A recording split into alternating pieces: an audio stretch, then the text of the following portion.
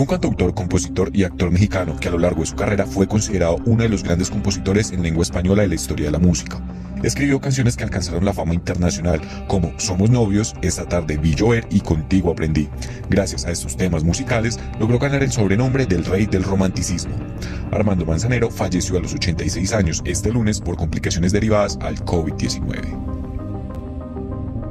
La leyenda del cine escocés fue otro personaje que partió en este 2020. El actor y productor de cine británico saltó a la fama por la personificación de James Bond, que interpretó en siete películas entre 1962 y 1983. Connery falleció el 30 de octubre a los 90 años debido a un infarto de miocardio mientras dormía en su casa en Bahamas. La comedia también estuvo de luto este año.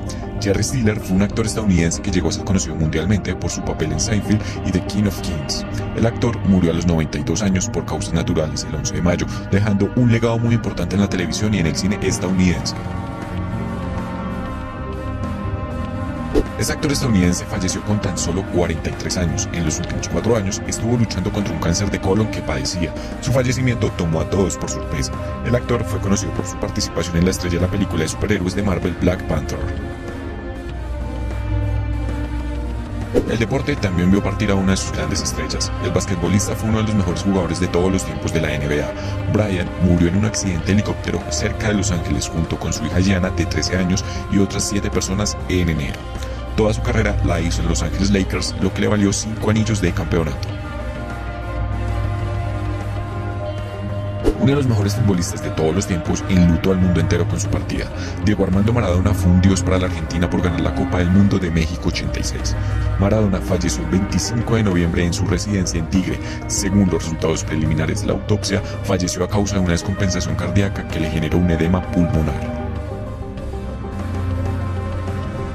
El campeón del mundo en España 82 e ídolo en la Juventus partió este 9 de diciembre a los 64 años a causa de cáncer de pulmón. Entre sus logros está el Mundial y varios títulos con la Juventus y está entre los 100 futbolistas más importantes de la historia. La música también quedó asombrada con el fallecimiento de Paul Dones, conocido mundialmente por ser el vocalista del grupo musical Jarabe de Palo. El cantante falleció a los 53 años, el 9 de junio, a causa del cáncer de colon que padecía hace varios años. El cantautor estadounidense falleció a los 81 años el 20 de marzo en su residencia en Georgia. El tres veces ganador del Grammy y miembro del Salón de la Fama de la Música Country era mejor conocido por canciones como The Gambler y su dueto en 1983 con Dolly Parton. La actriz italiana falleció a sus 89 años el 23 de marzo a causa del coronavirus. Lucia Bosé actuó en películas italianas y españolas que la llevó a la fama. Además, es la mamá de grandes artistas como Miguel Bosé, Paola Dominguín y de Bimba Bosé. El mítico actor que personificaba a Darth Vader en la saga de películas de Star Wars falleció el 28 de noviembre a la edad de 85 años a causa del COVID-19. Este físico-culturista fue honrado por la reina Isabel II como miembro de la Orden del Imperio Británico por su participación altruista y seguridad vial. También es conocido por la icónica frase I am your father. El mítico salsero murió a los 65 años este sábado en la madrugada en su residencia en San Juan de Puerto Rico tras un ataque al corazón. El autor de éxitos como Siempre Seré fue encontrado sin signos vitales por sus familiares. Su muerte fue confirmada en la emisora Salsa Soul por Jessica Rojas, hija del intérprete.